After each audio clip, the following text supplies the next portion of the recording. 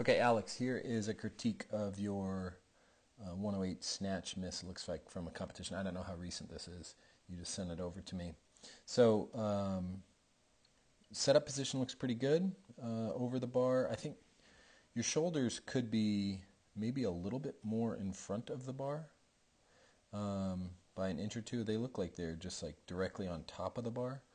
So I might um, just take your weight. Um, you can see a little space between your toes and the platform.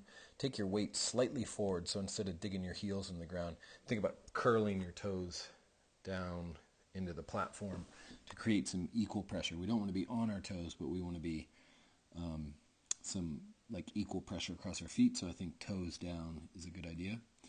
And then once you pull, you you have a really strong back that stays like super duper constant, right? I like that and this isn't bad, but right here we should be more over the bar. So again, your weight's a little heavy in your heels, and the bar's going really straight as opposed to coming into you. Right here, I'd like to see the bar already on your thigh and starting to slide up.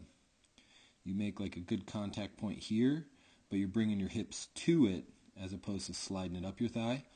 And when you get to here, and your toes are, or your heels are already up, the only place you're going to have to go is back, right? So you're going to take it back, and now because that goes back, the bar goes out, and you direct it well with your elbow, so you do a good job of what I would say to try and correct that. But th- this frame should be up, up, up, and it's going out, out, and up, right?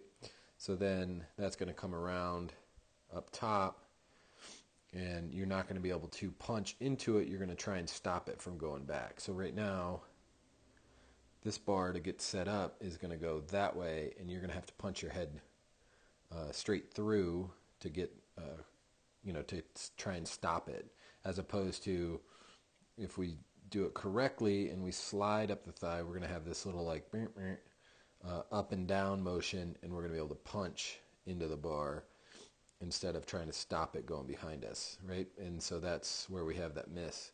So I think it goes back to balance is needs to be on your toes or on your whole foot with your toes curled into the platform so you're a little more over the bar.